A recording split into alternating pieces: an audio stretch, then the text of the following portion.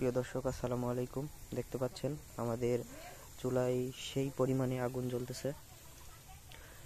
এত জোরে বলক হচ্ছে, আস্তে আস্তে সব পরে ইয়ে হয়ে যাবে মানে শুকিয়ে যাবে, জলীয় বাষ্প হয়ে। তো এখান থেকে আমরা গুড় উৎপন্ন করি। যদি আমরা গুড় নিতে চান, তো আমাদের স্ক্রিনে দেখা যে নাম্বারটা দেখতে পাচ্ছেন।